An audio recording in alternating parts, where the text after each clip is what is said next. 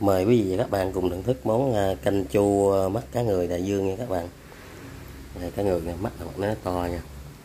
Đây mình nấu canh chua với à, khóm cà chua rồi à, bạc hà nha mắt cải chào mừng quý vị và các bạn đến với kênh à, bà Hỷ Hí TV hôm nay mình sẽ thực hiện món ăn đó là mắt cá ngừ nấu à, canh chua nha các bạn.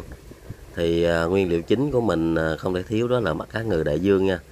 Ở đây là mình mua một ký mắt cá ngừ khoảng được 6 mắt nha các bạn.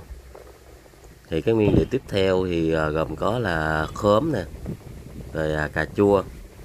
Cái khóm mình gọt sẵn rồi, cà chua mình cũng đã rửa sạch ha rồi bắp cải nè các bạn bắp cải trắng ha rồi à, một số bạc hà.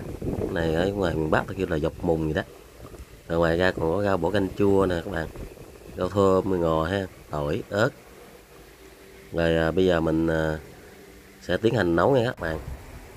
Thì đầu tiên mình sẽ bắt cái à, nồi lên bếp. Mình à, cho vào đây một ít dầu ăn nha các bạn. Đổ vào một ít dầu ăn ha. Rồi sau đó mình sẽ cho cái tỏi băm mà nãy vào các bạn, để cho tỏi nó vàng lên ha. Mình lắc đều để cho nó chán cái nồi. Cho tỏi nó vàng, cho nó thơm lên.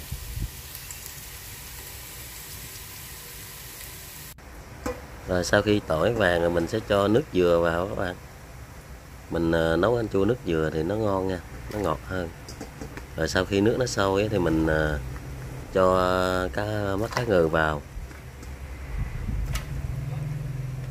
đó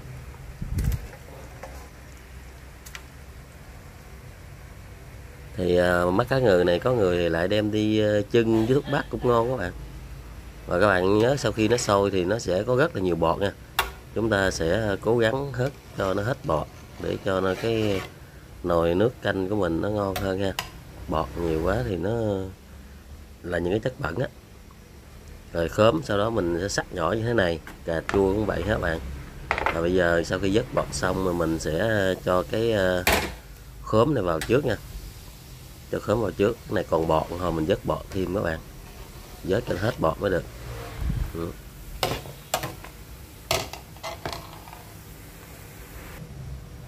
rồi à, mình cho khóm vào nha. Rồi khóm sau khi cho khóm nó chín thì mình cho cà chua vào luôn. Thì à, nhà mình ăn ít chua cho nên mình à, không có bỏ me các bạn. Mình lấy cái vị chua của cà với khóm là được rồi là vừa ăn. Còn bạn nào ăn chua thì mình à, cho thêm me vào rồi sau đó chúng ta sẽ tiến hành nêm nếm cho cái nồi ăn chua của mình ha. Mình sẽ nêm à, hai muỗng muối à, ba muỗng đường nha các bạn. Rồi mình nấu canh chua thì mình không có nêm bột ngọt. Nêm bột ngọt nó lợ lợ, nó khó ăn, nó không hợp khẩu vị của mình, cho nên mình không có nêm bột ngọt. Rồi sau đó mình dằn cho một ít nước mắm nha các bạn, để cho cái nước canh chua nó đậm đà ha. Rồi sau đó chúng ta bắt lửa lớn lên để cho nó mau sôi các bạn cho nó màu chín.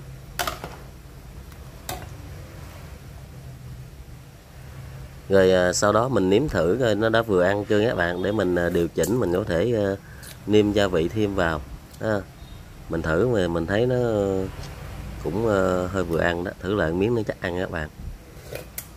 Rồi mình thấy nó cũng à, vừa ăn rồi. Mình nấu thì cái vị nó hơi ngọt ngọt tí nha. Vậy là nó vừa ăn với mình rồi đó rồi tiếp theo mình sẽ cho cái à, bắp cải trắng vào các bạn. Thì bắp cải trắng thì mình à, sắc cúc cúc cúc ờ, như thế này ăn nó sẽ ngon hơn. Mình không có cắt mình nha. Rồi sau đó mình cho luôn cái à, bạc hà vào luôn nha. Mình cho vào, sau đó mình bắt lửa lớn lên để cho nó ờ, mau chín.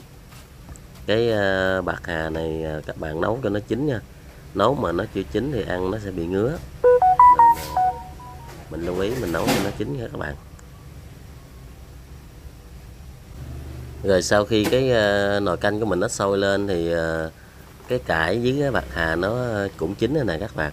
Đó các bạn thấy không? Nhìn rất là ngon và hấp dẫn ha. Đó. rồi cuối cùng mà mình sẽ cho ngò này rồi uh, rau thơm rồi uh, ớt vào nha các bạn để cho nó cho nó thơm và nó thấm vị, nó ngon nha. Rồi mình ờ, đảo đều lên, mình rưới cho nó đều xung quanh để cho nó thấm hết nha các bạn.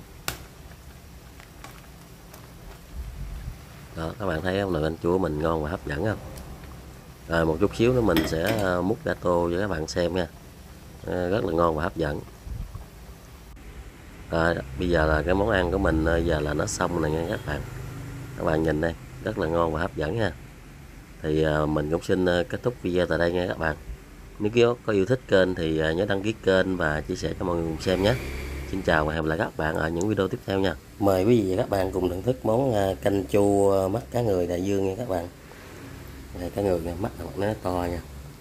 Đây, mình nấu canh chua với khóm cà chua, rồi bạc hà nha mắt cải.